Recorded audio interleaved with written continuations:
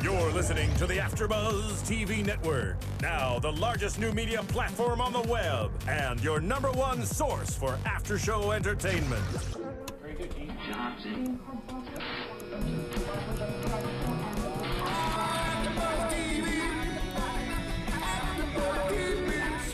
the AfterBuzz Studios in Los Angeles, California, presented by Maria Menounos and streaming live thanks to Akamai Technologies. This is AfterBuzz TV's The Last Ship After Show. We'll break down tonight's episode and get you all the latest news and gossip. And now, another post-game wrap-up show for your favorite TV show. It's AfterBuzz TV's The Last Ship After Show. Hey everybody, welcome into the Last Ship After Show right here on AfterBuzzTV.com. We've got season one, episode eight today. Two sailors walk into a bar. I'm your host, as always, Bobby DeMuro, joined by my panel, same people every week. We love them. Monse Bolanos next to me, and across the way, Marina Santos and Charlotte Broadbent. Ladies, hello. Hello. Now we've got a very special guest today for you guys. If you watched this episode, which hopefully you did, or else you shouldn't be watching the after show first.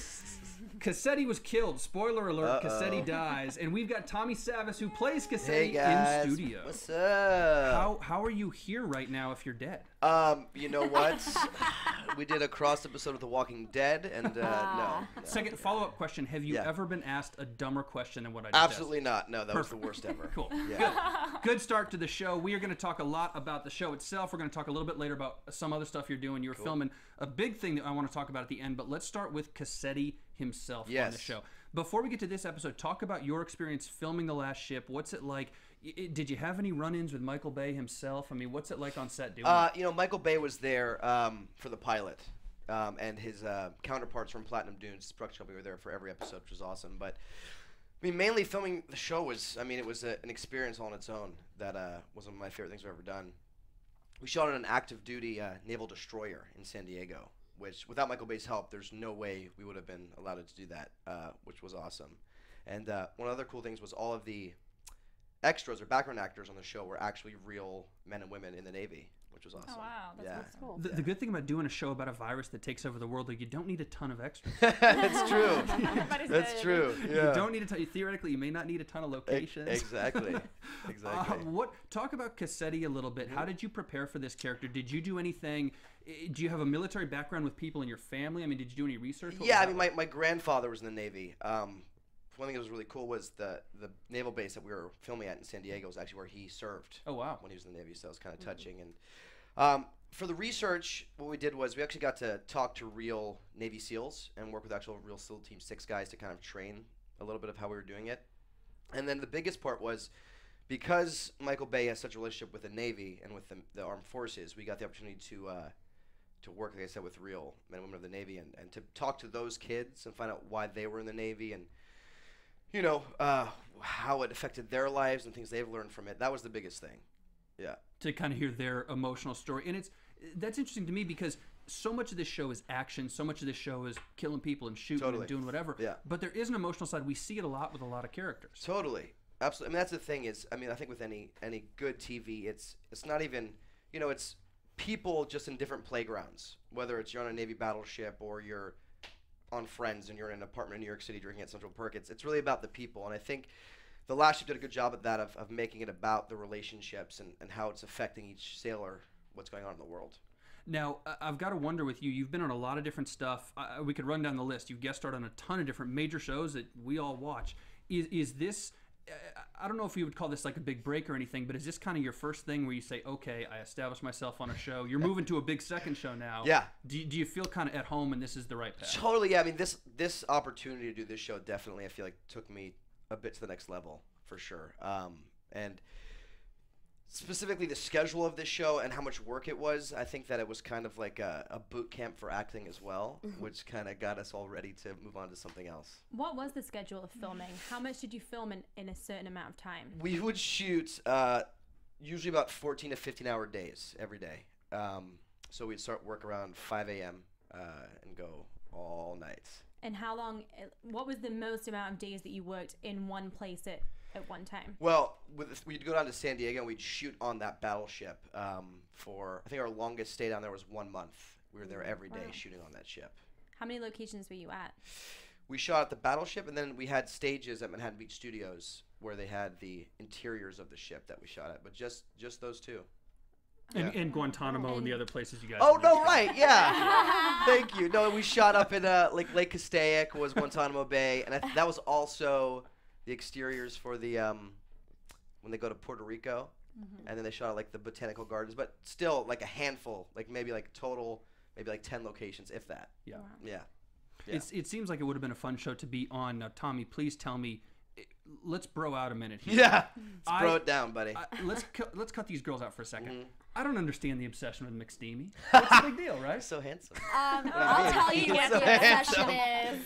Uh, what's it like working with a cast like that? I mean, him, Yeah. Adam Baldwin, a ton of people who've done a ton of stuff. Yeah. I think Charles Parnell is incredibly underrated. He's- yeah, he's great, What Charles. what do you what do you glean from a cast like that? Do you just kind of hang out with them and, and learn stuff as they To- go? Totally. One of the coolest experiences. We were in San Diego, and um, after work, I went out to a bar, and it was Eric Dane and, and Adam Baldwin and Charles and the whole cast. Can you guys even imagine that? It was pretty awesome.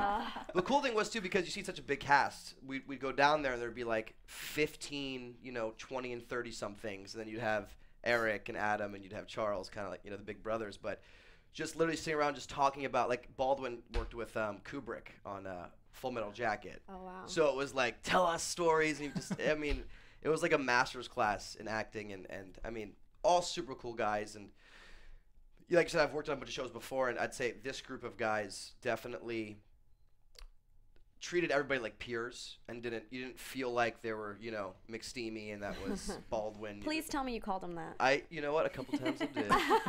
he loved it. No. I was, is, is Um, he cool about that? I assume he gets it. a lot. He yeah yeah if you catch him at the right moment yeah he's fine. But all super cool guys and like I said they're just yeah they were peers and they treated us like we were just one of them and it was awesome. Well, uh, uh, my condolences on season two. You've got something bigger and better coming up anyway. Yes. But I'm, I'm sorry you're not coming back for season You two. know I was really sad. I mean I, over five months working with these guys and, and living in San Diego for half the time and you, you become like a family. So I got emotional when I when I saw this episode and and you know I miss all those guys. So, Yeah. Do you get the script all at once? Do you know episode eight? That is when. It's No. over? So what happened was, um, I think we were filming episode five at the time, so it's rumor episodes, and I got a call from Hank, who's the creator and executive producer of the show, and you know, first he starts off by acknowledging me, and be like, "You're so good, we love you so that's, much." That's how you know it's bad. Well, the funny thing was, me and uh, uh, Kevin Michael Martin, who plays Miller on the show, so we were both talking. We're like, listen, when our storylines start to take off, that means one of us are dying. so I finally get like episode five. I'm like, oh, I started my arc's going. Okay, what's gonna happen? Get the phone call anyway. And he's like, you know, we love you, but you know, that's why we're killing you because we feel like the audience is gonna care about you. And yeah, they were cool about it. And it's definitely. I mean, it worked. Yeah. I care. I was like, no. Awesome, Yeah. perfect. I was sad. No, I, and I think you always were a certain a sympathetic character to a certain aspect, even when you were trying to when your enlistment was up, when you were trying to leave the ship. Yeah. that was a tough thing, and it's like you can't leave. But we understood the motives for doing that. I don't think mm-hmm. you were ever an evil character, so Totally. it makes sense that mm-hmm. that arc would come that way. yeah, yeah, It's just you know it's too bad. cool. And yeah. you, you really won their trust back, right? You, you you were at that place where nobody really liked you because of what you did on the boat, and slowly you just kept on growing and growing and growing, and you won everybody over, exactly. That's true. which is great. Yes. Doesn't doesn't much help you for anything in the second season. No, it doesn't. Yeah, No, it doesn't. Did you hear anything about the second season? Do you know anything? Are you at liberty to say? Uh, I, anything? I have heard some about it. I'm not at liberty to say anything, obviously. Otherwise, I would. But uh, maybe after this, you know, we go for some drinks and uh, get chatty. off, Oh, off the record. Just me and the ladies, though, not you. Oh, well, the after, Bye. after, Adios, buzz, after after show, I will not be invited. That's that's yeah. a tough thing. To say. Uh, let's let's talk about Cassetti a little bit now Sure. today, specifically in this episode. Yeah. we see we see you again gaining back trust, working with Danny to gain back trust. Yeah. Uh, the relationships. I'm always interested in relationships, especially on military shows, because I think a lot of people sort of gloss over it. Yeah. And you look at Chandler as the commanding officer, and everybody has to be deferential to him. Right. But there's other you know uh, uh, hierarchies of deferential. Totally. You have Yeah. Mm-hmm. to do it to Slattery. You got to do it to Jeter, and you did it to Danny Yeah. today. Yes. And it's interesting to see that relationship come through. Not only is Danny maybe a higher rank than you, but you're also trying to prove yourself to him. Back to him, exactly. So uh, talk about creating a relationship like that with an actor like that. Do you set a backstory with each other to create some sort of deferential relationship, or do you just kind of go with what's on the script and say this has happened? Now this is why I have to treat you this way. Uh, we definitely set a backstory, uh, specifically with that relationship. We got to work with. There was, at all times, there was a lieutenant actual of the Navy on set to make sure that everything that we were doing was correct and that we walked the right way, we talked the right way, we looked the right way. and we actually sat down with her, me and Travis Van Winkle, um, and, and to kind of understand that relationship because you have a scenario where, you know, he's a Navy SEAL and I'm an enlisted man, um, and I become part of the SEAL team. But yeah, it was interesting to figure out how that relationship would work because, again, you're, you're also in the show in general, there is no Navy left. So all that's left mm-hmm. is tradition and, and, and you know, every sailor himself keeping that going. So hope that answers the question. But yes, we definitely had to had to sit there and, and figure out how that relationship would work. Did you do any emotional preparation or whatever you want to call it on? I'm in this situation as Cassetti. Yeah. You know, maybe my whole family's dead. Totally. how do you how do you emotionally prep something like that? Totally. I mean, uh, with that, you know, I, I did a lot of reading actually on that on that point exactly. Um, there's this great book, and I, I don't remember the name, and I'm not going to, but that talks about uh, it's about men and women in the Navy and, and when they're serving, and uh, specifically it was about a mission that was similar to the mission that this boat was doing, where they were radio silence. This is during World War II. Um, anyway, and, and you get that notion of, of not knowing what's happening and, and that fear there, but yeah, I just I drew from real things in my life, and and I mean that helped a lot. But it, it, was a scenario that I, I never had put myself in before. You know that that unknown of not knowing what's out there and worrying about it. But yeah, And obviously, when you do other shows, you Yeah. pull off real life experiences. Mm-hmm. But how did how is the preparation different for this show? Being it because you have to, it's Navy. It's totally Yeah. different from any other show, pretty much that's out there. You don't have specific things that you have to follow, or people are gonna say, "Well, that's not real." yeah, no, exactly. I mean specifically that. I mean that's where having the Navy on set every day helped out a lot. And and there'd be times when we'd be doing stuff, and the background actors would correct us and be like, "Dude, you would never talk like that to the captain," you know, or like your hat looks totally wrong right now. Just the funniest things. so that helped so much. Um, and also, with every script, the Navy had to approve every script that was written um, in order for us to use their ships and everything. So they were super involved, and without them, it wouldn't have worked. And, and we premiered the show in front of uh, 250 men and women uh, in Washington D.C. of sailors. Oh, wow. Yeah, which is cool. And they only found four things that were wrong afterwards. Wow. What they were was adamant it? about it. They pointed them out. Yeah, what what were We're were like, the not bad. I don't. e- I don't know. I don't know what they were. They were like, I only saw four things. How was that experience being Awesome.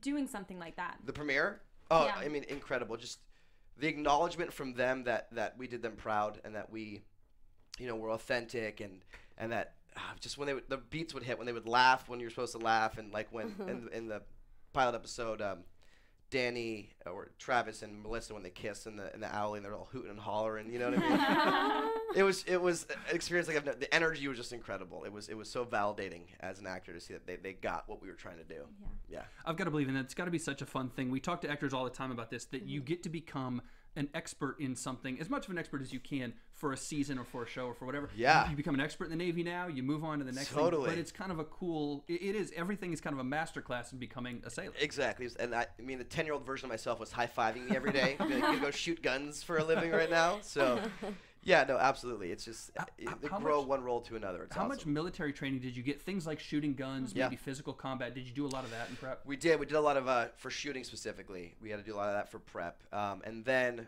we actually said we had the real Navy uh, SEAL Team Six on set all the time. And before we would do something like even clear a room or like in the Gitmo episode, we had to clear the whole hospital and come out this whole thing. They would take we would take hours, get show up there early, and rehearse with these guys of how you clear these rooms, how you'd hold your gun, what different man would be the point man, that kind of stuff. Yeah. yeah. Now I've got to ask, and and th- you got to give me something on this one. I know Yeah. you can't talk about season two, but on this, of all the people training shooting guns, of all the actors shooting guns, Yeah. who was the best and who was the worst? Travis Van Winkle was the best. Really? Okay. Yeah, he's also the most handsome. um, who was the worst? Man Crush Monday. Who's the worst? That's a rough one to say. I can't say who's the worst. was it was it you or we? Are No. we okay. Just wanted to make sure. the only reason why I said Travis was the best because I'd feel bad saying it was me because it was me.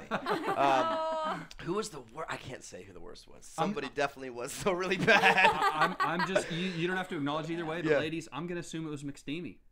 That's lies. No. I need- I Nobody need to would have believe something. it wasn't McSteamy. I've got to have Nobody something. would It wasn't believe that. McSteamy. All right, let, let's. I saw that face. I saw that face. Eric was amazing. No Uh, comment. No yeah. comment from him. Okay, he's gonna keep it tight. His publicist is sitting off. Yeah. Like, don't you dare say anything. don't you dare say anything. Oh man, we're gonna end a career here before the end of the show. No.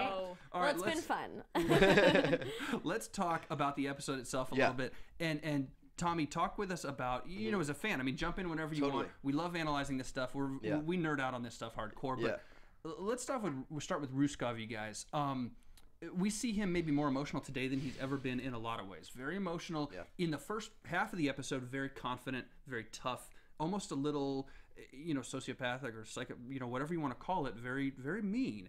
And then in that second half of the episode, you can see the desperation and literal tears Oh yeah. coming down his eyes. I've got to think with him, and he mentioned something, I don't remember the specific words, but it's not just about beating the Americans, winning the military battle. He mentioned something about him like like replenishing the world, him being the one to save the Taking world. over, yeah. Yeah. Yeah, Taking over. that part. But I think he also mentioned somewhere too. that It's whoever has the cure is the one who's going to actually rule the world. Yeah. So I think it's not that uh, you know Yeah, I don't gallant think it of was him, genuine. but there's a part of that. Yeah. But definitely, I feel like the guy. you And he, and he mentioned selling the cure. That Yeah. was he kind of Right. hinted Oh, at sure. selling it. That's yeah. what I- So- yeah. yeah, Yeah. that's what came across to me is like he was interested in the power and the money that would come from it. Totally. You know, of course he would be known as the man, but I think he was more interested in it for um, the wrong reasons. I would say so, but it sure. was the American dream, man. Capitalism, Yeah, yeah, you're right. he supply called and it demand. out. You're right. yeah. Maybe maybe not with something like the virus vaccine. I just wonder what currency he's going to use. Do are we using rubles? Are we using dollars? All right, at What that we- point, Yeah. using gold. I don't locks know what of we're using. hair. I think that's the currency in the, the post-virus world. Oh man. Um, and then the interesting thing with him, the, the emotion that he shows with the tears at the very or near the very end when he sees everything going up in flames. We'll do predictions at the end, but I have to believe we're not going to see too much more of the Russians. Mm-hmm. Not only did Sorensen get out with the virus and is theoretically killing people, Yeah. but the ship's literally blowing up around them. So I've got to believe they're done. And he sees all of his dreams, good or bad, all of his dreams are done. They've disappeared. This is it for him. And a little part of me, don't get mad at me, a little part of me was sorry for him just to see his heart totally break. I know he's a bad guy. Yeah. But you still have to feel a little bad. Yeah, you have to feel for the other sailors on that boat too, and just Yeah. know that it's not just they're not all like him. You know. And he was so sadistic, he's killing other ones in Yeah. front of each other. Yeah. absolutely. Exactly. yeah. Part of me think feels better for them that they're somewhat free. They're out of his spell that they were under. I mean, that guy seeing the, the guy that was sent into that was um, the vaccine was put into him and sent Dimitri. into the um, the enclosed part. It was like, wow, what? A, I mean, Yeah. who does that? Or when he What kind of kills the other guy when that? they're when they're in, I think, Cuba, right? When he yeah, shoots. that was like the yeah. third episode. Yeah. Yeah, yeah, yeah. But it just showed how cold he was, and I saw it too. Like once he realized that's it, he was that there was no hope. His face completely changed. I was like, man, that is good acting. Good Yeah. job, guy. No, Because he he, almost solid. got me to feel bad for Yeah. him, but I was like, no, you little no Russian man. but You can I- say it. Lord knows we've talked This about the worse inner on way, here. We say the Yeah, inner we way. know we've said a lot worse on here. yeah. I do wonder that the one inconsistency, I guess, with it is as sadistic as he was for most of the for most of the season. Mm-hmm. I, I mean, I- I know that there's a little bit of honor amongst these guys, even though their navies are, are no more. And I and I kind of wanted to see him almost metaphorically tip his cap to Chandler, Right. and almost say, "You got me. You won fair and square." You know, and, and he yeah. Mm-hmm. was, and it was almost a little bit of being a sore loser in a certain extent, and maybe that's why he's not a sympathetic character because he is a sore loser. Right. So I, I don't know. I would have liked to see him tip the cap, but anybody who drinks tea out of those nice little tea glasses when the world In the middle of all the Pinky explosions. So classy. going on. Yeah. Right? It's It's a like, classy oh, gentleman. explosion right there. he deserves whatever's coming to him. Maybe we won't. Maybe this is not the last we'll see of him. Maybe he'll. I'm not convinced it is. Yeah, without Yeah. the explosions. I we didn't know. see anything. We just assumed. Yeah. The ship Yeah. could be going down, but I'm sure they've got a rescue boat or something. Exactly. I'm sure you. know Although and you can't tell. Niels walked through the uh, the boat and he's not infecting everybody. Right. So Yeah, I guess as long. Hey, if he doesn't We'll get up into the into the captain's quarters, into that engine room, or whatever, Yeah. maybe they're. Maybe, yeah. They're sectioned off. They're a little. They're different. yeah. Maybe Dimitri will be the only one who gets out. That would actually be something. He's the only one with the vaccine in him. That's a good point. That's Yeah. right. Dimitri could get out. That's a great point. By the way, Dimitri begging for his life. This isn't incredibly central to the story, but I mean, crying like a baby. I'm not saying I wouldn't because I'm a huge baby, but Dimitri You're looked also a, not in the Navy. Exactly. He looked a little tougher. He's in the Russian Navy. He's a big dude, crying like a baby the entire time whenever a gun gets pulled on him. I'm like, man, Ruskov, who do you have under you? Right. How tough are these guys? The world is ending. This is Slim Pickens. Yeah. That's what he has. That's all he has. But yeah, man, he really. I, I thought it was very interesting how he was so sure she did not have the vaccine. You know, she how he did not want her- any of any of that vaccine in him or any of the virus when she injected him. I was like, man, you really don't think she has it? Don't, I you're don't think tripping. any of them did. Well, uh, Yeah. Yeah, it was crazy. Well, I didn't think she was ever going to get it until she actually got it. So congratulations to Dr. Scott. Yes. She did it. Well done. Yay. Clap for her. I was I didn't done, think it was going to be this season. Having known there was a season Right, two, you wouldn't I have thought didn't- that, Yeah, yeah. I- this, this episode is not what I expected Yeah. at all. I didn't Yeah. expect Chandler and Tex to be back on the American ship. I didn't expect the vaccine to now become. Exist. I, Yeah. thought, I thought it was going to be this season because the last thing I want to see in this season, the one thing we haven't seen yet, Yeah. we've got to go to land, real land, not Guantanamo Bay in that quick foray into. Do, do, do, It's do, gonna we go. happen. There we go. Maybe it will. We've got to, Yeah. we've got to bury Cassetti at sea, and then we've got to Yeah. go to you know Virginia Beach or wherever they're trying to get back to. We've got Mm-hmm. to see some real land. So I that's obviously coming up, but And- good for Doctor And the real question is, we don't know for sure that the vaccine works. That is also true. Yeah.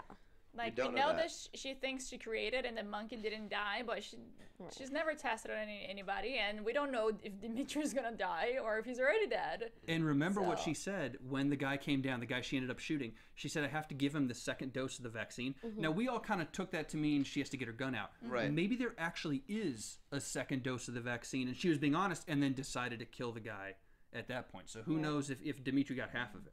Yeah, because it looked like what was the name of the scientist on the Russian boat? Uh, Sorensen. It yes. looked like he was confused about that too. Like he was like, "What Yeah. second part?" His Yeah. face, and Yeah. he was so interested in it. He was like, "Go ahead. Yeah. I'm just curious to see what you're gonna do here Yeah. because I don't think there's a second dose." You're so good with these names, man. I just Right? seriously. you do this for a living. Yeah, you watch a lot gotta be, I guess. All of them. All of them.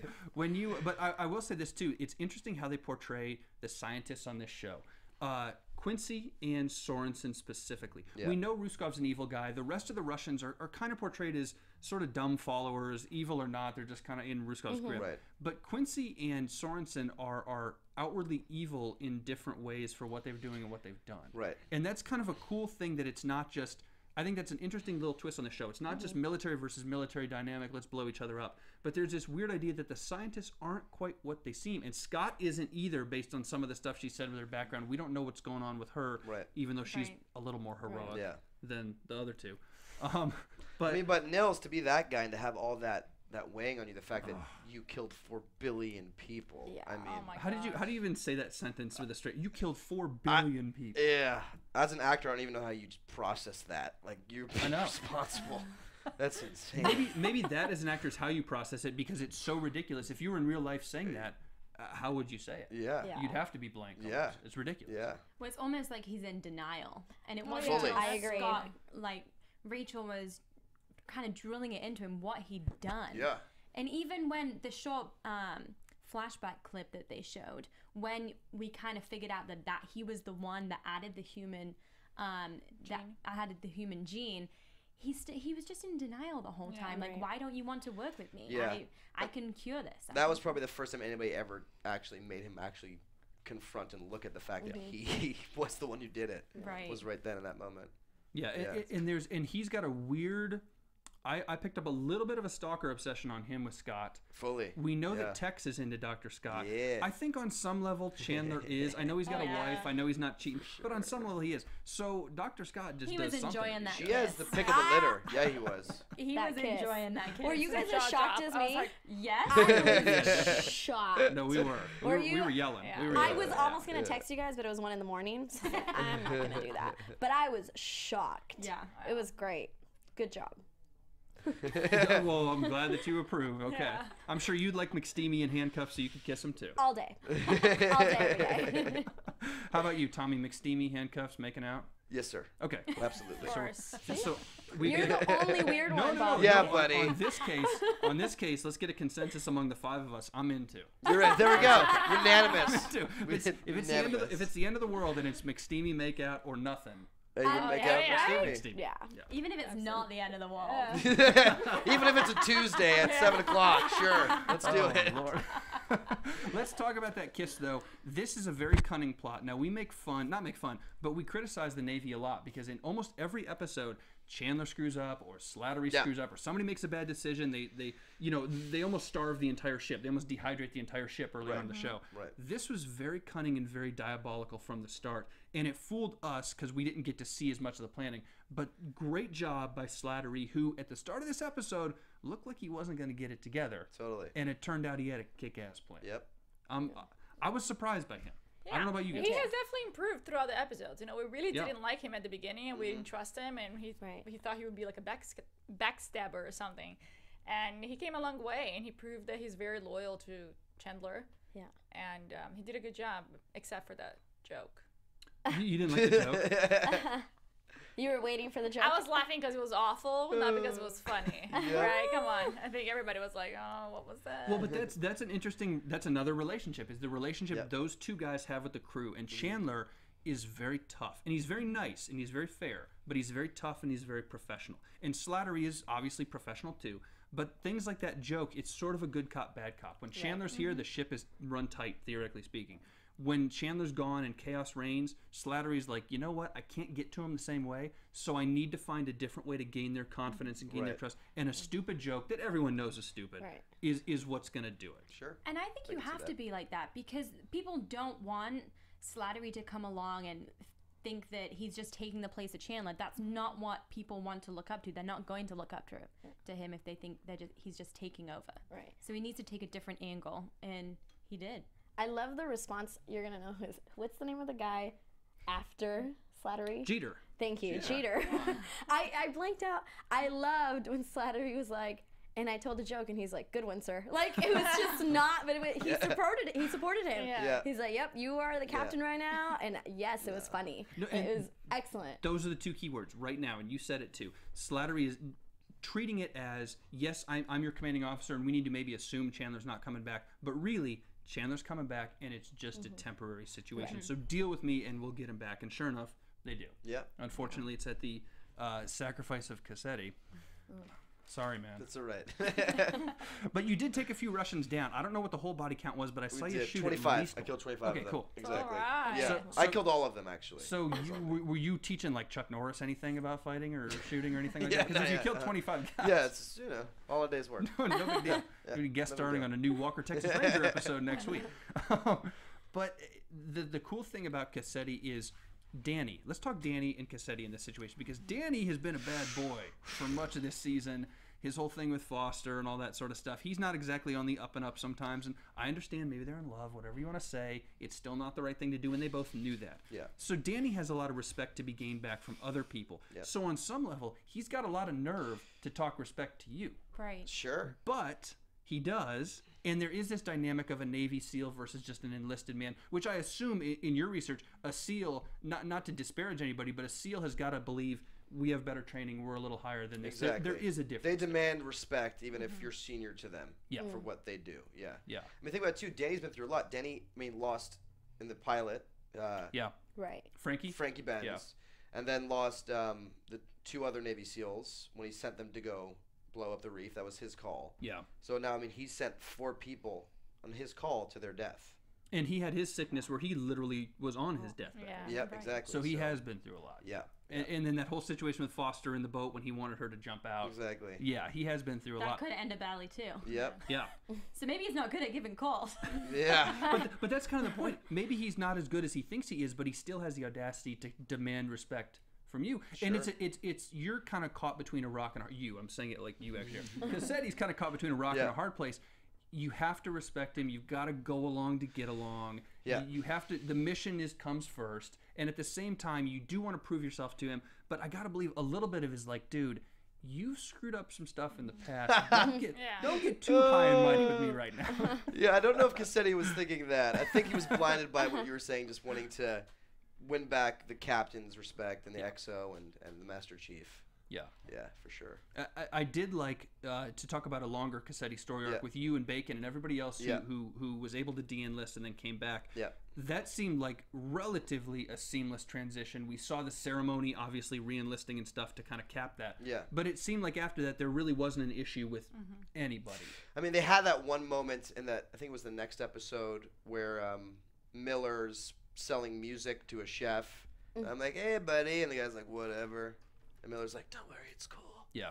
Um, so that was supposed to illustrate Yeah. that, but yeah, soon after is when I go on the, the we go save Patrice. So Yeah. yeah, Yeah. And I feel like if it had been any other situation, that maybe those guys would have got a little bit more of a hard time. But because this is such a Yeah. crazy situation that's going on and such a big mission that they're now having to deal with, Exactly. that everyone's kind of just like, well, And I also feel like everybody could, to probably some extent, understand and go, I get that you want to leave. I mean, yeah, you're not Mm-hmm. in the Navy anymore, but so I feel like there's some, you know, slack given to a degree Yeah. there. Yeah, and slack given that the Navy doesn't exist. That's the what I- thing, yeah. Right, the thing about Chandler doing his his serial number or whatever, and Ruskov is like Geneva doesn't exist. The Geneva Yeah. Conventions aren't. Yeah. It doesn't matter anymore, Yeah, man. yeah, exactly. So, and that's an interesting thing that that you need strong commanding officers with Chandler, with Slattery, and Jeter, Yeah. because you were talking about this more tradition than than actual Navy now Yeah. Mm-hmm. because there is no Navy. So those three guys really have to hold up on the tradition. Chandler does a great job of it.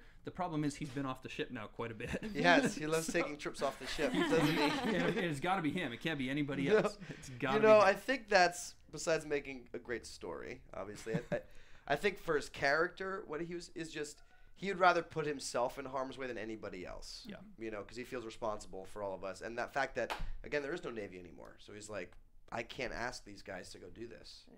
And I wonder about that, putting yourself in harm's way. I've got to wonder. This will be irre- ir- unfortunately irrelevant to Cassetti now, but for these other guys, episode 9, 10, season 2, Yeah. when they start finding out, my family's dead, everybody's dead, nobody survived.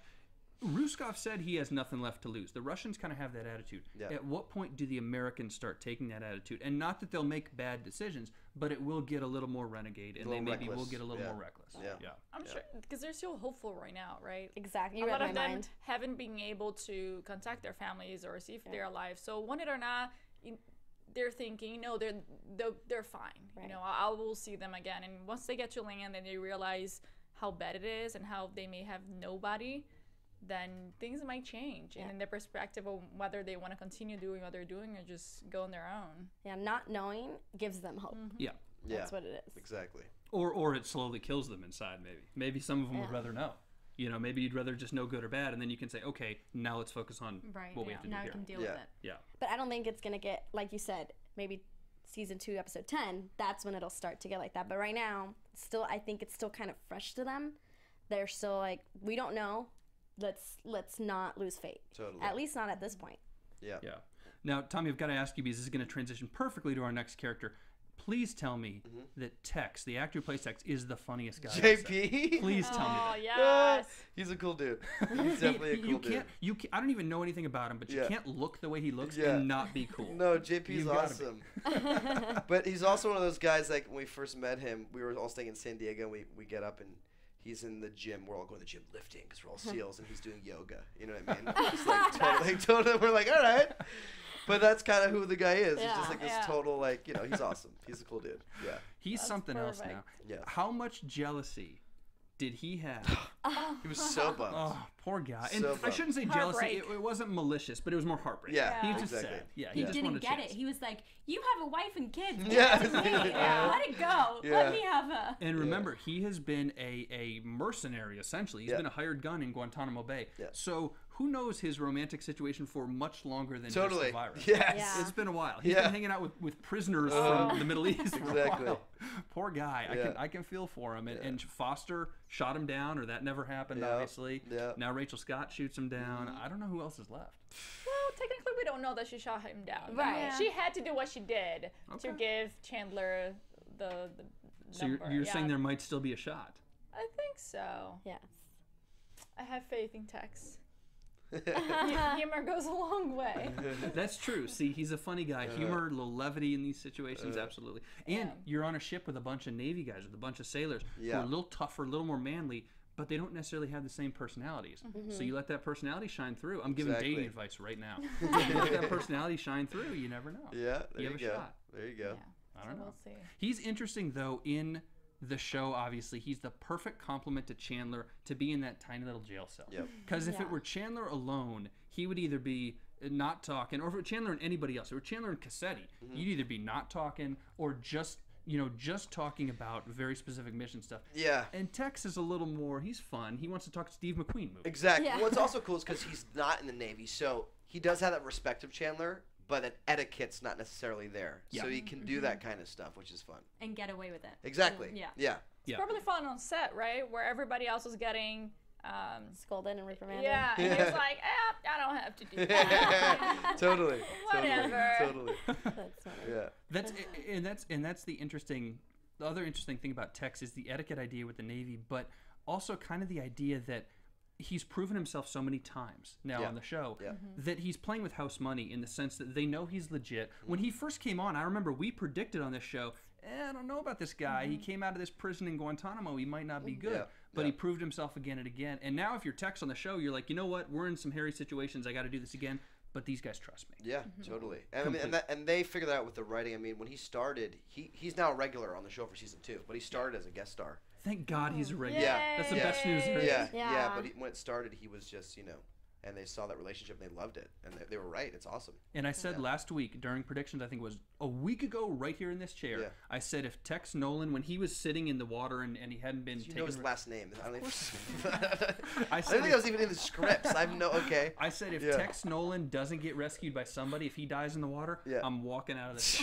Well, done. luckily he didn't. luckily He he's did. here. Ah. I, I unfortunately didn't say the same thing about Cassetti. No, uh, Um, I apologize. Um, all right, let's talk a little bit about you now, Tommy. Other stuff other than the last Sure. ship. We'll do we'll do predictions in a second, but before we get there, I Yeah. want to talk about everything you're doing. You're doing State of Affairs right now, currently filming it with Katherine Heigl. And currently, was today the first day of shooting, or have you guys been? yes, shooting? it was today. It And was this morning. So you're playing hooky. yeah.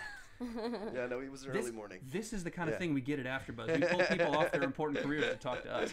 Um, talk a little bit about that. Katherine Heigl's a big name. I always think Knocked Up, one of my favorite Yeah, movies. she's But she's been in a little show Oh, called yeah. Grey's Anatomy. I don't know you you heard of it? Yeah, she won an Emmy With- for it. Yeah, I don't know. so not a big deal. With McSteamy. yeah. With With McSteamy. from one Grey's to another. I know, right? Yeah. So have, have you guys traded Eric Dane notes at all yet? We totally have. We totally have. Eric, yeah. No, I was actually with Eric when I found out I got this show. Oh, wow. And I told him, and he was, yeah, he was happy. And he was like, give her a big kiss for me. And I was like, I don't know if that's going to happen, but I'll tell her hello. What's it like? I mean, not only working with her, but being Yeah. on set like this. You're, you're filming it here in LA, I believe we were talking yes, yeah. Um, Universal. And, and San Diego's not far away, of course, but it's got to be cool to film right in your own backyard. No, it's wonderful. I mean, we shot the pilot for the show in New York, which is also because that's where I'm from, which is kind of cool. But no, it's 10 minutes door to door for me, from my house to this to the Oh, soundstage, which is yeah, you can't beat that. It's Nice. awesome. Nice. Talk a Um, little bit about the, the character you're playing, what you're doing. It is, I will read the, the log line for you guys. A CIA officer plucked from the field to become the president's daily briefer, Mm-hmm. assuming responsibility for targeting America's most critical threats while navigating the unique lifestyle that comes with such a high powered job. Yeah, So it's gonna be, intense. it's gonna be a romantic comedy. Yeah. yes, Obviously. exactly. Yeah, there's a talking dog. It's great. Talk, how how long ago? Uh, talk to us about the process of starting a show. I'm always fascinated by the timeline. How long ago did you find out? How much Yeah. time have you had to prepare? And what's the future filming schedule look like? Yeah, so we started. We, we shot the pilot in uh, February, mm, end of March. We shot the pilot, um, and that was three weeks in New York City, and then we literally didn't do anything until today. So it's been what's that six months about? Yeah. Is that right? Um, so that was cool. The pilot literally you, you find out kind of and you have like a couple days to fly to New York and start working. Um, and everybody's kind of figuring out who they are as a character, what the show is. So the pilot's interesting because there's not too much room and time for you to develop a character yet. But what was great was we were one of the last pilots that were shot this pilot season. So we found out uh, in May, in early May, that we were picked up. So we had some plenty of lead time to, to work. And um, yeah, wh- one of the things that we all did was um, we went on a, a trip together to Utah, the whole entire cast, about three weeks ago, so that we could kind of because we haven't seen each other in five months, and we have to be best friends on the show. So we're like, we should all go on vacation together and kind of rekindle, Mm-hmm. you know, which was cool. Th- you- th- This is just cool job. Right? Yeah. That's like go on vacation to Utah. No, this Yeah. is work. Trust me. Trust me. Have you ever done that before? Gone on Never. vacation or done something bef- prior? Never, no, no, and that was a suggestion of Katherine's to do that. Um, you know, she's one of the executive producers of the show, so it's kind of cool having that where you have an actor who also has, you know, they're in the ring for you Right. in the mm-hmm. producer's corner. Other interests Exactly. in the show. Yeah, so she's able to be like, let's all go to Utah. And we're like, all right, let's go to Utah. I think it's got to be cool. I mean, obviously, you all are very serious about what you do as a job and a Yeah. career and something you love, but it's probably cool to have an actor who is also in Katherine Heigl, a producer, because she's got a couple dogs in the fight now, and it's sort of a different intensity level for her. Exactly. That's the that's the thing, and you know she's very clear about like if there's anything that that the other actors don't like or, or have suggestions story wise to please you know tell her and then she goes to bat for us if needed. Yeah, she's Yeah. awesome. You just added, sorry, you just added producer to your resume. Are you Yes. excited to kind of learn more tricks from her? Totally. Yeah, I mean she's I mean you know she's she's huge. You know what I mean? So yeah, absolutely.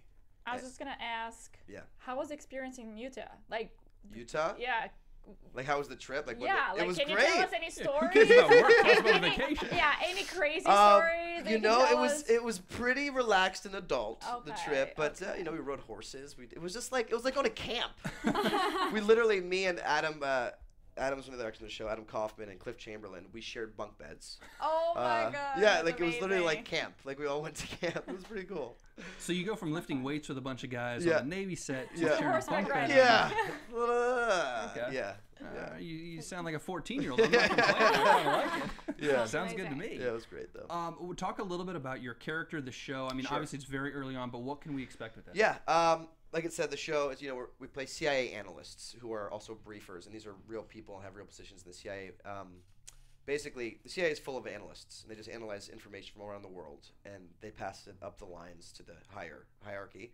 And we're kind of the end of the line, so we get all the information, and our job is to filter through it and find out what's the most pressing stuff that's happening or the most relevant, and then we take that information and we make a, a book called the President's Daily Briefing Book, and then we present it to the president and then she tells us what things to do um, or what things not to do or what she wants more information on and then we go ahead and do that which is cool A female, a female president. yes Alfre Woodard There you go. yes Oh, okay. yes girl power Is it a prediction for the future?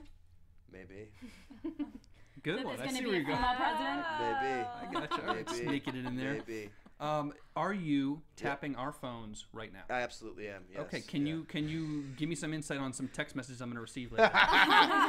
uh, be careful when you go to sleep tonight oh boy. Next team is Wow. coming for you. yes Oh, exactly. no. exactly I'm so No, jealous. But one of the things was I got to actually go and visit Langley, the CIA headquarters, wow. which was Oh. awesome. When they had to vet me for like a month, I had to do background checks, this whole thing to be able to go, which was crazy. Um, but I, I freaked out. I was like, "Are you guys checking my phone? I left my phone in the car. Look at my text messages, my web browser history. They Um, already knew. they already they already do know. They really do. They know everything. Um, but that was cool. That's how. That's the main way I prepared for this role. Is I got to go there for two days, um, and I stayed in DC for a week, uh, and got to talk to all these real analysts and hang out with the CIA, which was cool. So you go from the. Navy to the CIA. You, you, you're developing a lot of skills and a lot of knowledge that I think one day you're going to become a danger to. I guess so. Right? I guess so. Yeah. So just do a baseball movie. Might as well, right? Calm down. Please, I know. So when does I know it's filming just Yeah. started, but any idea when it's coming out? Yeah, November year? seventeenth. Uh, Oh, okay. Mondays at nine p.m. We take over for the Blacklist when they go on hiatus. Perfect. Oh. Yes. There you go. I think, and you guys talked about we are going to do that show on After. Are you? Yeah. We are. It was on the list. So Well, good. I'll be I back. So- It's on Mondays. Yeah. if Mondays if, at 9 p.m. if we don't see you on the and I will- seventeenth, Yes. we're gonna have a bone to pick. All right, Jordan. Hey. There we go. All right, let's do uh, predictions right now, and Tommy, we're gonna involve you in. Shh, predictions for the rest of the season? Absolutely. That's not fair. I know everything. Your AfterBuzz TV predictions. I predict you take a swim. Your Okay. body. Well, if you were to watch what's The happening next week, you would yeah. have seen my body doing that. That's so a, that's a you'd stone be cold- correct. that's a stone cold prediction. Charlotte, let's start with you. What are you predicting? I don't think the Russians done. okay. Um, I don't. I think there's another strain of the virus that hasn't that she doesn't have a vaccine for. Obviously, Beatrice gets sick, so something has gone wrong or something's happened for her to now get sick. Um, yeah, that's all I have right now. Um, I think they're gonna go to land, and um, it's gonna be a little chaotic. I don't think they're ready for what's coming. You know, a lot of people are gonna be coming out and wanting help, and it's gonna be like too much, and they're gonna try to push them away. You know, it might even cause some problems. Um, I kind of agree with you. I think I just keep thinking that Dr. Scott, you know, said that it's a mutating virus. So that's why maybe now Beatrice is getting sick because maybe the virus is mutate, mutating and finding a way to, you know, get her sick. I don't know. So I think there's going to be some troubles with the vaccine. Um, maybe not next episode, but next season. Interesting. And how do you produce a vaccine like that much of the vaccine that's needed? Because they use her blood, right? They use Bit- Beatrice's blood. Yeah. Every day, just Uh, for a girl. That's a good point. How about you, Monse? You guys both kind of took some of my predictions. I don't think the Russians are done, but not all of them. I think maybe like a couple of them. Ruskov, more essentially, I think he gets saved by a safety boat or a small boat or something. And I do think they're going to go to land and they're going to encounter another problem, whether it's people, whether it's more information on the virus. But I, they're going to get to land and it's it's not going to be easy. Tommy, take it away. Any, anything, anything you're allowed to maybe tease us with? I'll just say, one of you guys Or isn't far off. Oh. Of course, that's happening. I will say this: this is my prediction. It kind of ties into some of you guys, but the Russians, to me, are done. I think Ruskov and all those guys are done. But remember, there's one guy on that Russian ship who's not dying from the virus, and that's the guy with the virus. It's Sorensen. And I think he gets off the ship, finds a boat, something happens. We have not seen the last of Sorensen. I don't know what it means. I don't know if he's in a rescue boat in the middle of the ocean himself, and maybe it's irrelevant. But I think he gets off the ship. Technically, he comes from the Russian ship. So technically, there's this Russian survivor. Technically. But he's right, he's, he's Swedish or whatever. Come on. But technically, Oh man! All right, hey, social media links and stuff like that. Tommy, let's start with you. Twitter, Instagram. You out anywhere people can find you? At Tommy Twos on Twitter, and uh, no, no, no, that's wrong. Sorry. At Tommy Savas on Twitter. at Tommy Twos on Instagram. His publicist is like, no, get this right. At Tommy Savas on Twitter. At Tommy Yeah, Savas. it's All good right, enough. ladies, Twitter. You can find me at Charlotte B underscore TV or CharlotteBroadbentTV.com. You can find me on Twitter and Instagram at Rena Brazil. You guys can find me on Twitter and Instagram at Monse Bolanos. And I'm on Twitter at Bobby DeMuro, on Instagram at Mr. Bobby DeMuro. Tommy, thank you very much for My joining pleasure, us today. You're This is a lot of Thank fun. you. so fun. I uh, please, if you see Eric Dane again, tell him that the ladies say hi. I will. yes. Absolutely.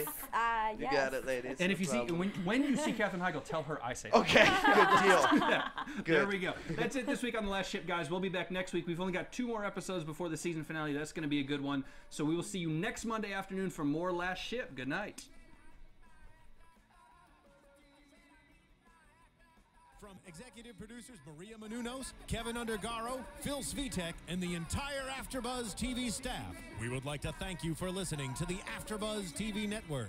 To watch or listen to other after shows and post comments or questions, be sure to visit AfterBuzzTV.com. I'm Sir Richard Wentworth, and this has been a presentation of AfterBuzz TV. See you later. The views expressed herein are those of the hosts only and do not necessarily reflect the views of AfterBuzz TV or its owners or principals.